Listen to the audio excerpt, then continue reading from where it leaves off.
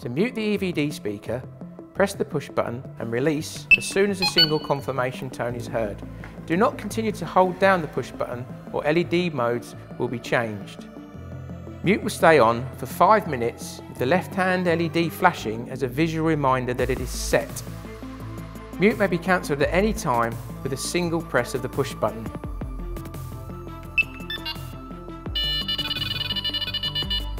This is not a memorised setting.